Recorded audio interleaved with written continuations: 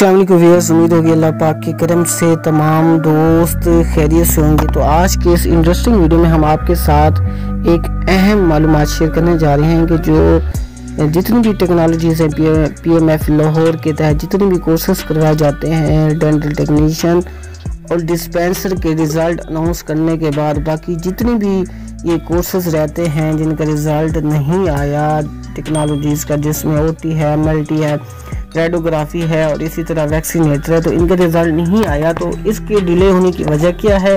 और ये कब कन्फर्म जो डेट है ना, इनका रिज़ल्ट आने वाला है, वो आपके साथ शेयर करने जा रहा हूँ। तो वीडियो स्टार्ट करने से पहले पी के हवाले से कोई भी न्यू अपडेट होगी आपको इस चैनल पे मिलेगी तो हमारे चैनल को लाजमी सब्सक्राइब कीजिए और वीडियो को लाइक लाजमी कीजिएगा। तो वीडियो करते हैं स्टार्ट तो ये हम मीटिंग हुई है, जिसमें यंग पैरामेटिक्स एसोसिएशन के चीफ ऑर्गेनाइजर मोहम्मद बिन सनाउल्ला साहब की स्टार साहिबा पंजाब मेडिकल फैकल्टी से मुलाकात हुई है उनकी, जिसमें मुलाकाती वक्त में Mohammad Shaheen finance secretary YPA Punjab और आसिफ साहब डिस्ट्रिक्ट सदर वाईपीए बहावलपुर हमरा थे। तो रजिस्ट्रार साहिबा से रिज़ल्ट की तखीर की वजह से दरियाफ्त की गई तो उनका कहना था कि दो टेक्नोलॉजीज़ के पेपर्स अभी तक चेक होकर वापस नहीं आए। जिसकी वजह से ये पेपर्स जो चेक नहीं हुए तो इनका रिज़ल्ट तखीर का शिकार है। और इसी तरह फ़र्स्ट ईयर कोर कोर्स और बाकी टेक्नोलॉजीज़ का रिज़ल्ट तैयार है। सिर्फ़ दो टेक्नोलॉजीज़ के पेपर्स का इंतज़ार है। जैसे ही पेपर्स चेकआउट हो के आते हैं तो पीएमएफ लाहौर की वेबसाइट पे इनका रिज़ल्ट अपलोड कर दिया जाएगा।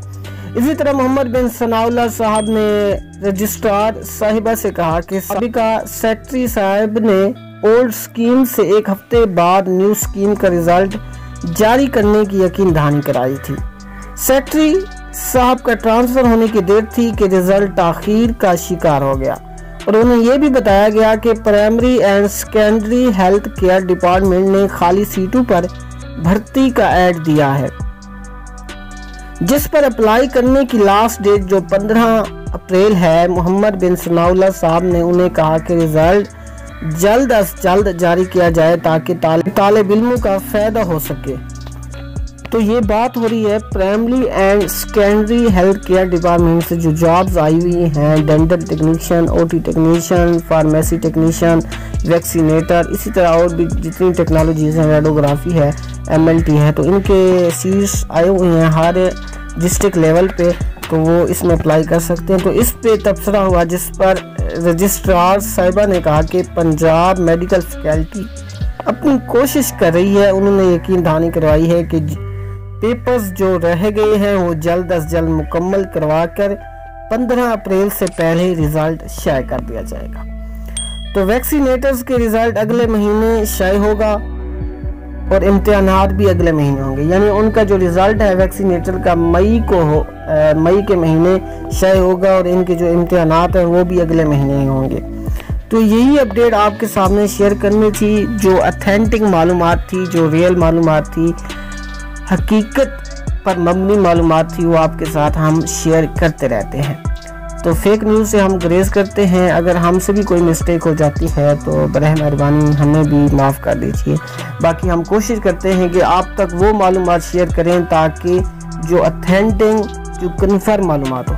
तो ये कन्फर्म मालूम है जो आपके साथ शेयर कर रहे हैं, क्योंकि अभी प्राइमरी और सेकेंडरी हेल्थ केयर डिपार्टमेंट की तरफ़ से जॉब्स आई हुई हैं, तमाम टेक्नोलॉजीज़ की तो इसमें अप्लाई कर सकते हैं। तो ये कोशिश कर रहे हैं कि उनका रिज़ल्ट 10 या 12 अप्रैल तक आ जाए, ताकि वो तमाम स्टूडेंट्स 15 अप्रैल से पहले उनका रिज़ल्ट आ जाए। तो लास्ट डेट है 15 अप्रैल तो वो इस जॉब में अप्लाई कर सके। तो उम्मीद है कि 10 अप्रैल तक इनका रिज़ल्ट आ जाएगा।